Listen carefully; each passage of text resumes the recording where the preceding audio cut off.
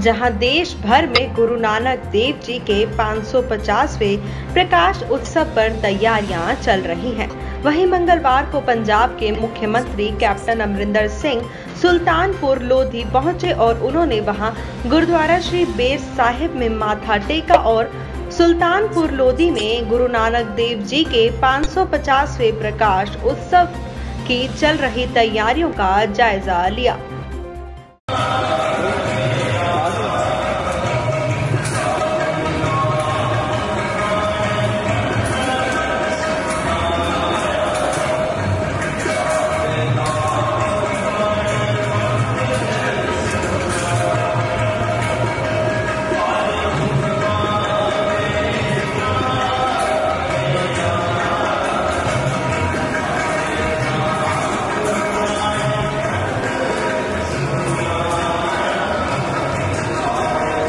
ताज़ा अपडेट्स के लिए अर्थ प्रकाश टीवी को सब्सक्राइब करें और बेल आइकन को प्रेस करें।